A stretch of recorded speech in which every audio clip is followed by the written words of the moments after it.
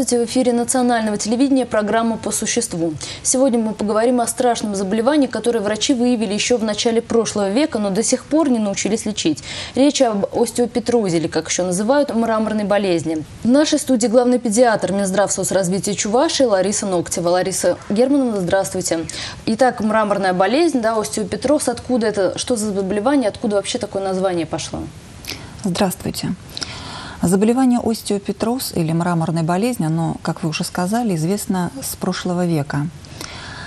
А, название остеопетроса говорит о том, что идет переуплотнение костной ткани, то есть это нарушение развития костной ткани. А мраморная болезнь – это название пошло от того, что больных э, выявляют именно по тем снимкам рентгенологическим, которые а, выявляются. То есть одно из э, диагностических критериев данного заболевания – это, это рентгенологические снимки, где косточки плохо просматриваются, то есть они просто зарастают. А вот. И хотелось бы сказать, что все-таки мраморная болезнь или остеопетроз – это довольно-таки редкое заболевание – оно является наследственным заболеванием, которое наследуется по аутосомно-рецессивному типу.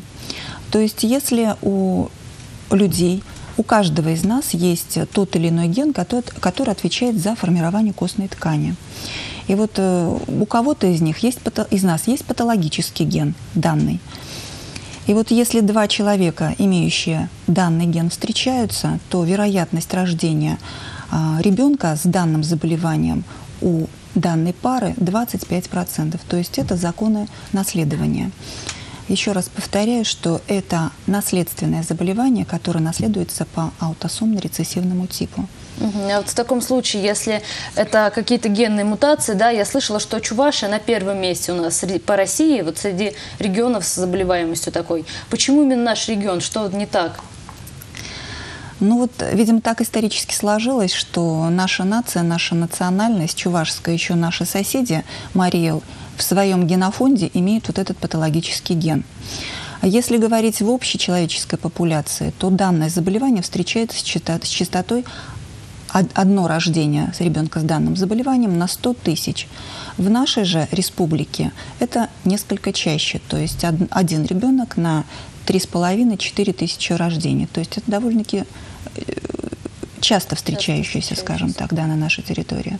Но вот так вот сложилось исторически, что где-то в древности так получилось, что мутация сконцентрировалась больше на нашей территории. Чувашская республика довольно-таки компактная республика, и количество близкородственных браков у нас очень велико. И вот по статистике получается, что каждый тысячный брак в нашей республике является все-таки близкородственным. И вероятность рождения у них вот именно ребенка с подобным заболеванием, не только с подобным заболеванием, а вообще с наследственными заболеваниями в близкородственных семьях довольно-таки велика. А вот заболевание это как проявляется, да? Как родители могут понять, что вот что-то не так с их ребенком? Одним из проявлений заболевания является то, что ребеночек начинает отставать в развитии. А другим проявлением заболевания может то, что ребеночек э, чаще болеет, то есть вирусные заболевания, инфекции какие-то, да, и еще из э, проявлений клинических, так называемых, это изменения в анализах крови, на что, конечно же, обращают внимание э, и педиатры участковые, и родители на первом году жизни ребенка.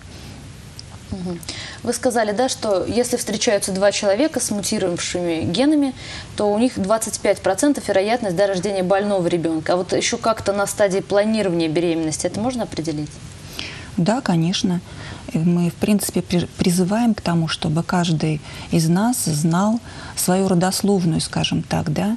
Вот когда пара приходит на а, прием на перинатальный прием, на пренатальный прием, скажем так, на стадии планирования беременности, естественно, врачи задают вопрос, имеются ли э, в семье у родственников какие-то заболевания наследственные, имеются ранние случаи смерти детей э, в раннем возрасте, в младенчестве. Но получается так, что мы не знаем чаще всего, да, ни своих дальних родственников, да и близких очень часто мы не знаем, как протекают у них развитие, какие заболевания они имеют. Конкретно на данную наследственную патологию, конкретно вот на данное заболевание, существует метод ДНК-диагностики. То есть возможно выделение гена, который отвечает вот за данное заболевание. И он выявлен, он выявил, выявлен специальный ген, который, патологический ген, имеется именно у коренных жителей нашей Чувашской республики. И вероятность выявления этого гена, в принципе, существует. Если пара пришла к врачу, и значит, они хотят знать, есть ли вероятность рождения от ребенка с такой патологией, то есть реальная возможность определить наличие патологического гена у матери будущего, или будущей, либо у отца. А каким образом? Что за анализ? Это анализ крови. Да, это ДНК-диагностика. Забор крови происходит у нас, у нас в медико-генетической консультации пренатального центра. И затем уже анализ отправляется на исследование в Москву. В течение некоторого времени результаты мы уже получаем, и можно действительно со стопроцентной, скажем так, долей вероятности сказать, что да, у вас есть данный патологический ген, или нет, у вас его нет. В любом месте, куда женщина беременная или на, э, на стадии планирования беременности становится на консультацию, в любом месте ей предлагают этот анализ, это обследование, или только в определенных местах, в каких-то продвинутых, не знаю, клиниках у нас в городе? В нашем городе, в нашей республике у нас имеется медико-генетическая консультация, где проводится данное консультирование семейных пар женщин а, во время беременности, до беременности.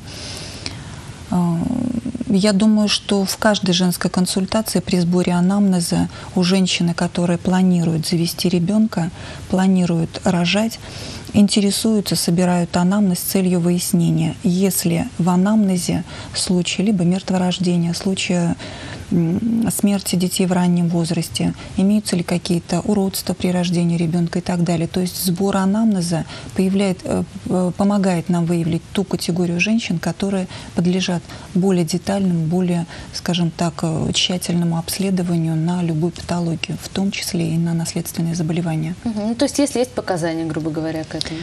Да, если есть показания. Ну, получается, достаточно просто. Это обычный анализ крови, да? А вот что делать парам, у которых у обоих родителей обнаружили ген? Им вообще противопоказано заводить детей? Нет, почему? По всем законам генетики у такой пары тоже может родиться здоровый ребенок. И больной ребенок может родиться лишь в 25% случаев. И этой паре тоже реально помочь можно. На этапе уже э, пренатальной диагностики существуют методы так называемой инвазивной диагностики, когда э, тоже пренатально на сроке 11 недель забирается кровь плода и определяется его генотип скажем так, если у данного плода э, в его хромосомах вот эти вот гены, они в гомозиготном состоянии, скажем, или в гетерозиготном состоянии. Если они в гомозиготном состоянии, то, естественно, заболевание проявится. Если они в гетерозиготном, он будет только носителем данного гена, и клинически он будет здоровым.